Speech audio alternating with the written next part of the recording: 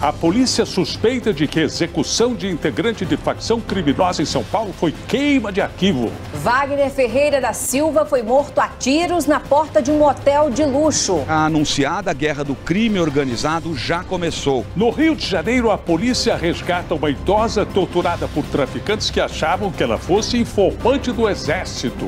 Pôr até granada na minha boca. General interventor quer que 3 mil policiais desviados para repartições públicas reforcem a segurança nas ruas. Campeã olímpica de judô diz que foi vítima de racismo durante Blitz. Descobri que preto não pode andar de táxi agora. Operação Lava Jato prende o presidente da Federação do Comércio do Rio. A justiça autoriza a ex-mulher do governador Sérgio Cabral a trocar apartamento no Leblon por cobertura na Lagoa Rodrigo de Freitas. IBGE diz que faltou trabalho para 26 milhões de brasileiros no fim do ano. A Agência Internacional rebaixa nota de risco do Brasil para investimentos. O motivo foi o fato da reforma da Previdência ter sido jogada para escanteio no começo da semana. Noivos se casam e fazem ensaio romântico em rua alagada de Niterói.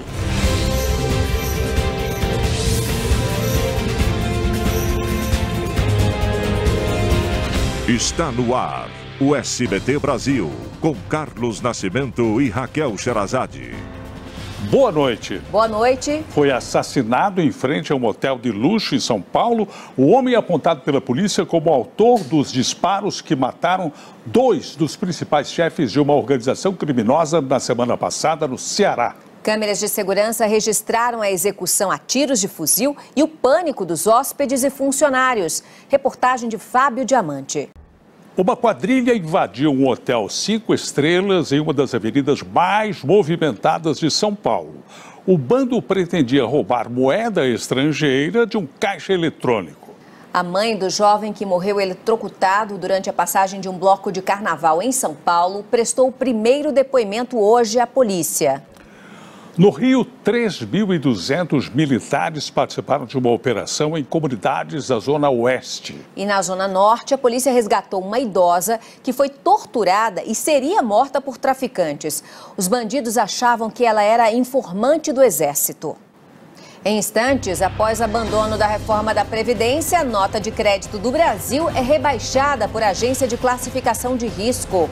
Temporais voltam a provocar alagamentos e estragos na região metropolitana do Rio de Janeiro. A gente volta já já.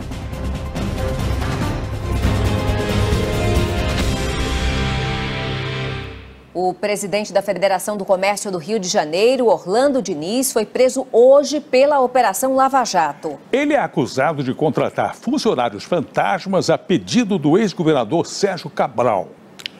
Somente no ano passado, 20 milhões de reais circularam no país em notas falsas. Foram quase 500 mil cédulas apreendidas. E elas podem vir de onde menos se espera, ou seja, do próprio banco. A Polícia Civil afirmou que vai apurar como foi o atendimento à dona Gilda. 26 milhões de brasileiros estão desempregados ou trabalham menos do que gostariam. Os dados foram apresentados hoje pelo IBGE. E pela primeira vez foi divulgado o índice das pessoas que desistiram de procurar emprego. A entrega da declaração do imposto de renda vai começar na quinta-feira, dia 1 de março, e irá até o dia 30 de abril. E a novidade é para quem tem filhos com 8 anos ou mais. Esses dependentes agora devem ter CPF. O interventor da Segurança Pública no estado do Rio, General Braga Neto, quer a volta de mais de 3 mil policiais e agentes que estão cedidos a órgãos públicos. Eles vão reforçar a segurança nas ruas e também nos presídios. E vamos a outras notícias pelo Brasil. A agência de classificação de risco Fitch rebaixou a nota de crédito soberano do Brasil. O adiamento da reforma da Previdência aumentou a desconfiança dos investidores. A respeito do rebaixamento da nota de crédito, o Ministério da Fazenda informou que a Fitch reconhece que a economia brasileira pode absorver choques internacionais e domésticos e afirma que o governo continua comprometido com uma agenda de reformas para garantir o equilíbrio das contas públicas. O Ministério Público do Pará recomendou o embargo imediato de uma das bacias de rejeitos da mineradora Hidro em Barcarena, no Pará. O vazamento de substâncias tóxicas contaminou a água. O governo do estado deu 48 horas para a empresa baixar o nível das bacias. O presidente dos Estados Unidos, Donald Trump, impôs hoje 56 sanções contra navios e também alia empresas aliadas do regime norte-coreano. O anúncio foi feito poucas horas depois da chegada da filha de Trump à Coreia do Sul. Yula Rocha. O Departamento de Estado americano pretende inaugurar sua nova embaixada em Jerusalém no dia 14 de maio. Uma pesquisa feita por universidades venezuelanas mostra que 61% da população do país vive na pobreza extrema. A crise na Venezuela tem causado um fluxo constante de imigrantes que cruzam a fronteira e vão para o estado de Roraima. Você vai ver a seguir. Judoca campeã olímpica diz que foi vítima de preconceito em blitz da Polícia Militar. E você vê que o índice da Bolsa de Valores de São Paulo teve o oitavo dia consecutivo de alta e renovou a máxima histórica, fechando acima dos 87 mil pontos. A gente volta já já.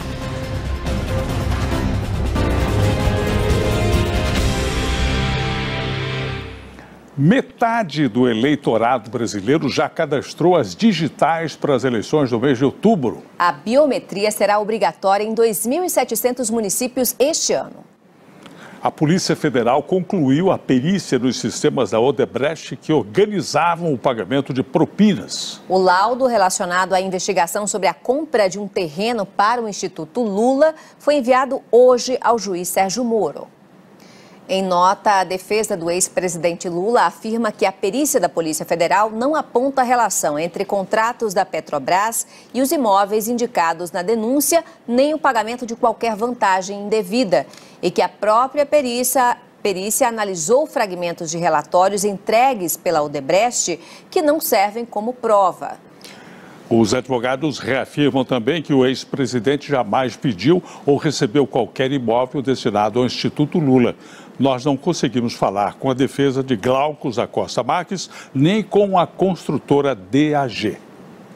Um forte temporal provocou inundação e deslizamentos em Ubatuba, litoral norte paulista. Uma pessoa morreu soterrada.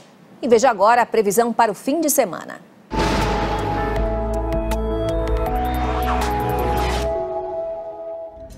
O excesso de nebulosidade mantém as temperaturas amenas em muitos estados. Uma frente fria avança entre o Espírito Santo e o sul da Bahia. Os ventos em altitude contribuem para trazer a umidade da Amazônia e há riscos de temporais. Hoje choveu forte no Rio de Janeiro. Em Icaraí, bairro nobre de Niterói, as ruas ficaram alagadas. Esses dois, que tinham acabado de se casar, não se intimidaram e fizeram um ensaio romântico com a água na altura do joelho. No sábado, só nas áreas mais claras do centro-sul, o sol aparece entre nuvens. Em Brasília, máxima de 23 graus. Em Salvador, 32. No Rio de Janeiro, calor de 31 graus. Em São Paulo, as poucas aberturas de sol garantem máxima de 29 graus. No domingo, os ventos úmidos que sopram do mar trazem pancadas isoladas. A temperatura varia dos 17 aos 29 graus e a semana ainda começa com chuva. A judoca campeã olímpica Rafaela Silva denunciou que foi vítima de racismo no Rio de Janeiro. A realeza britânica ficou em alerta depois de receber uma carta com um pó branco suspeito. Mas não era só isso. O envelope endereçado à futura esposa do príncipe Harry também continha uma mensagem racista. Sérgio Uti. Boa noite. Boa noite, Brasil. Tchau.